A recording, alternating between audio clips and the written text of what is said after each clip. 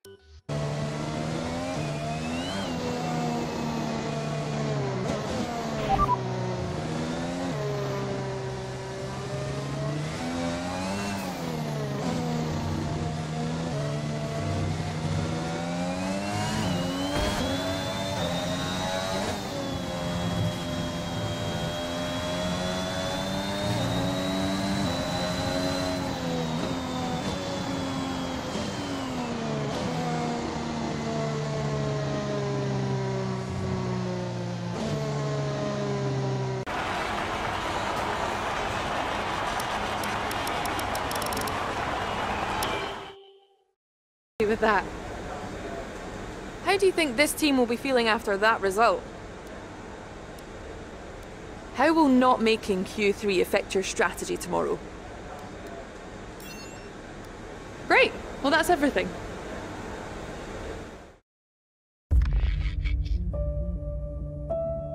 End of the world.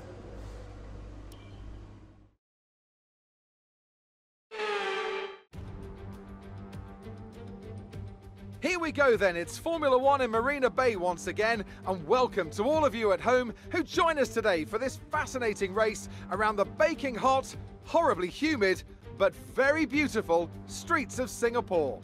The Marina Bay Street Circuit then has 23 corners, 13 to the left and 10 to the right, taking us a total of 3.1 miles around the landmarks of downtown Singapore. An average lap speed around here, just 107 miles per hour. Also here, of course, is Anthony Davidson. Let's talk about Moore. That was a great podium in the last race, so can they keep that momentum going this weekend? It's always nice to come into a Grand Prix weekend on a high, but your expectations are based much more on your practice and qualifying runs, so it's the momentum from those sessions that they'll be hoping to carry into the race today. Let's run you through the driver grid order for today's exciting race. Valtteri Bottas lines up on pole position, with Daniel Ricciardo slotting in alongside. Looking down the rest of the grid we have Leclerc, Hamilton, Lando Norris and Vettel, Stroll, Gasly, Ocon and Carlos Sainz, Perez, Fernando Alonso, Antonio Giovinazzi, Moore, Verstappen, Raikkonen, Mick Schumacher and Nikita Mazepin, Russell and Nicholas Latifi. Now, it's almost time for lights out, so let's go down to the track.